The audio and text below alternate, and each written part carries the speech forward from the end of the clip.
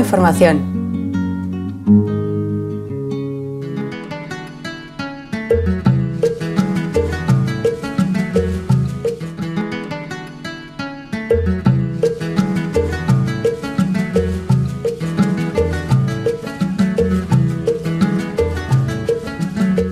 Estamos con Javier Etayo, un habitual del periódico de Cuba Información, y ahora hemos salido de la inauguración de este 14 encuentro de solidaridad con Cuba.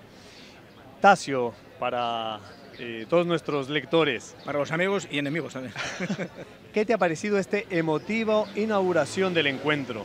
Me ha parecido algo, vamos, excepcional. Yo le comentaba ahora a José Manzaneda, le digo, José, esta tarde nos vas a matar a todos. Ha sido muy emocionante por la diversidad de la gente que había aquí y sobre todo por el contenido de las cosas que se han dicho. Ha habido momentos para todo, para llorar, para reír, para cantar. Yo creo que ha sido una tarde muy completa. Mira, nosotros, mi mujer y yo, que está por aquí también, eh, fuimos a Cuba en el 87, estuvimos allá un año viviendo. Entonces, bueno, allá compartimos la vida con los cubanos y yo creo que eso nos cambió las vidas. A raíz de entonces, ya antes teníamos ciertas simpatías por la revolución, pero a raíz de entonces ya la simpatía fue 100% y nos ayudó mucho para volver otra vez aquí, para saber seguir un poco la consigna que, la Revolución Cubana nos imprimió allá, ¿no?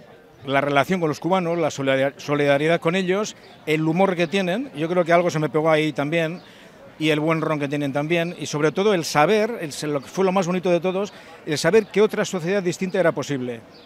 Y en este encuentro el tema fundamental es precisamente los medios de comunicación y las redes sociales. Eh, al respecto hay que ser bastante críticos, parece. ¿Qué te parece eh, que se haya elegido este tema?